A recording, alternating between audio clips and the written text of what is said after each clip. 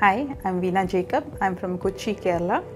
I have been accepted in Monash University for completing my postgraduate studies in uh, banking and finance.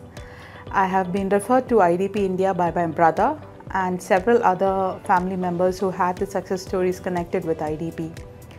Uh, being married and having completed my post graduation in 2009, I was a bit apprehensive whether I would be getting into a good university.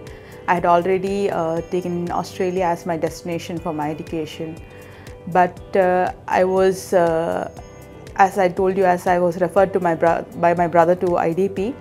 I, uh, as soon as I stepped into the IDP Kochi office, I was guided by the very experienced counselors who helped me in every single way, right from selecting the best universities which had the course of my preference to the documentation and application process.